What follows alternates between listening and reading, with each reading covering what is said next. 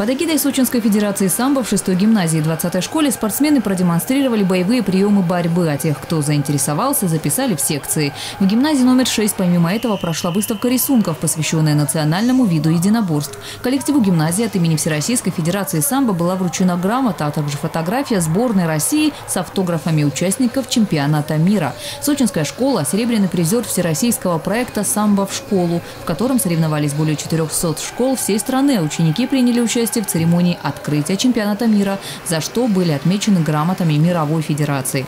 Спортивный праздник продолжился в 20-й школе. После показательных выступлений руководства э, образовательного учреждения, а также директор 9-й спортшколы Саркис Багасян были награждены за вклад в развитие самбо на курорте. В завершение спортсмены возложили цветы к бюстам основателей самбо, установленным в Федеральном центре единоборств курорта.